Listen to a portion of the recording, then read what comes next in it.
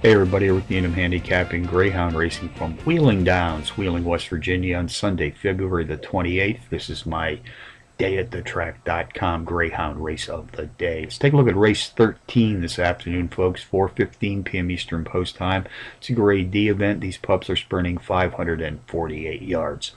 Using a software product called Quick Dog, I've isolated a power pup to put on top of my multiple entry contenders list, and on this entry uh, today, number one, WW Soul Society. I'll make a one place and show wager.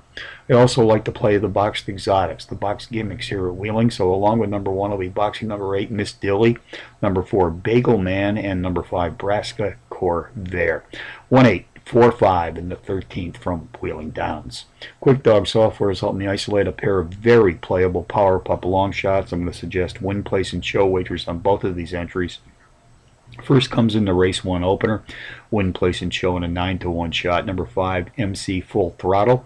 And in race 4, win place and show in a 4 to 1 shot. Number 8, Box Vector.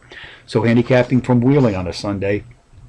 Rick Needham for dayatthetrack.com. Reminding you as always to please bet with your head, not over it.